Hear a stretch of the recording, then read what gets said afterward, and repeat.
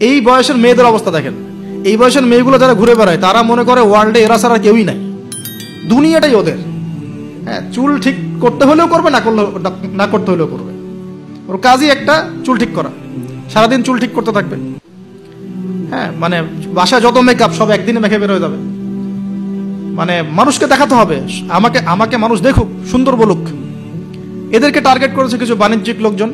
ওরা শিখিয়েছে এদেরকে, তুমি সুন্দর না, তোমাকে সুন্দর হতে হবে। ব্যাস স্নো স্নো পাউডার শুরু হলো তারপর থেকে। ওকে আগে বুঝাইছে, মাথার মধ্যে ঢুকাইছে, তুমি সুন্দর না, তোমাকে আরও সুন্দর হতে হবে। ব্যাস, তারপরে যে এই ক্রিম সেই ক্রিম ব্যবসা শুরু হয়ে গেল।